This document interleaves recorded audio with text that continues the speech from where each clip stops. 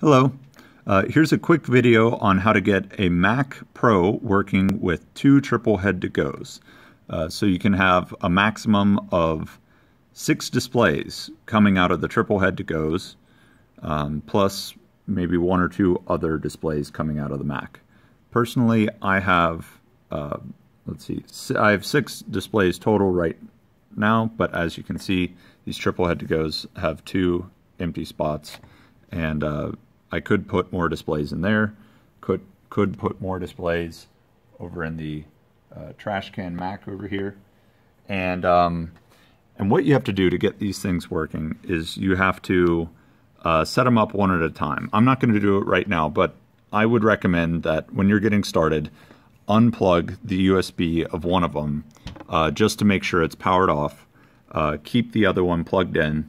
And then what you do is you get the Matrox PowerDesk software. Um, you can see up here, there's the little symbol for it. Um, you have to download that, and once you have it downloaded, uh, all you got to do is come to Quick Setup. Um, EDID management and information and troubleshooting are both pretty useful, um, but Quick Setup's really all you need to use. Um, and then once you have it open, you, you can see it's detecting these two uh, displays are connected to it. So I'm going to come over here. I'm going to use only use two displays, and so it's detecting both of them. And by default, it wants to do 1920 by 1080p. If you're doing 1920 by 1080, that's really convenient because the triple head seems to default to that um, even when you don't want it to. So uh, if you want to use that resolution, go ahead. If you don't, it's going to be a bit more of a hassle, but it's still possible. What you need to do is come here to uh, uh, select a display setting, and I'm going to come down to the one that I'm using right now, which is 720p, and make sure you get the hertz right because if you don't, um, you run risk of, of damaging your projectors or displays. So I'm going to hit that, uh, and normally I'd hit apply here my stuff's working right now and I don't want another hour of fussing around with it, so I'm not going to hit apply, um, but uh, you get the idea. Um, and the next step normally would be to uh, come up here, shut down your computer, and uh, wh while it's shut down, come over and unplug the TripleHead2Go, unplug the USB, um, wait five seconds for it to fully shut down, and then plug it back in again. But um, uh, once again, I don't want to fuss with this anymore, so I'm not going to do that. Um, the next step that you're going to need to, know is you need to come in here and do uh, go to your displays.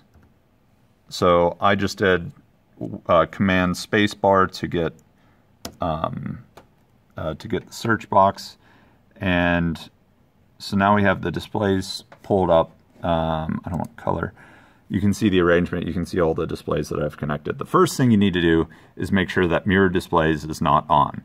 Every time uh, you play with these TripleHead2Gos, uh, the Mac just really wants to have mirror displays on. First thing, you got to make sure that mirrors display mirror displays is turned off.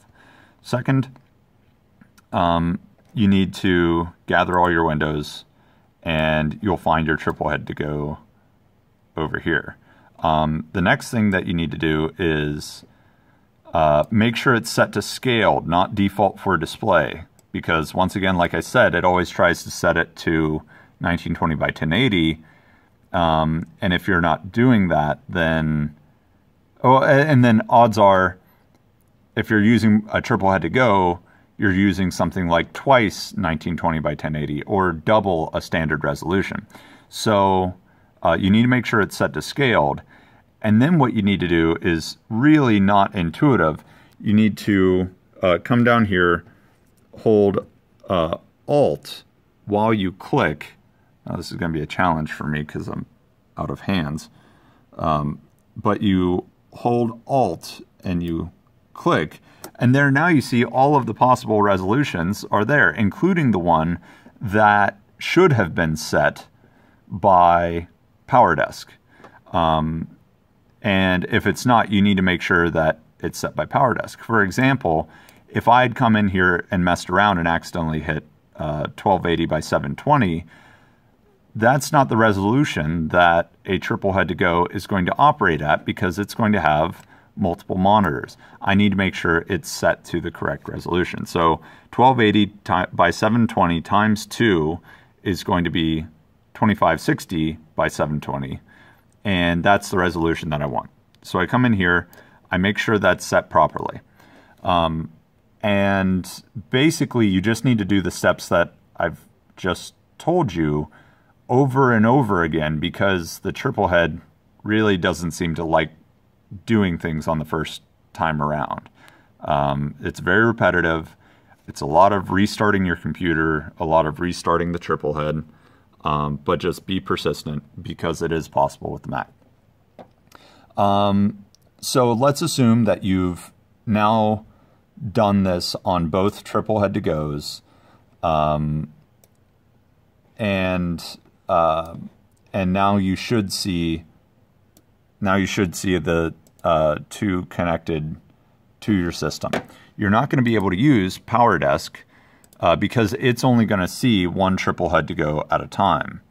Um, so that's why you need to make sure to uh, set up one TripleHead2Go using the technique I just described, come over to the other one, or unpl unplug it, completely unplug that one, come over to the other one, set it up, uh, power them both down, wait a couple seconds, uh, power them both on, then power the, the Mac on. And now you should have all the all the displays that you're looking for. Uh, you should be able to use um, any software that works with them, or um, or just use it as extra monitors.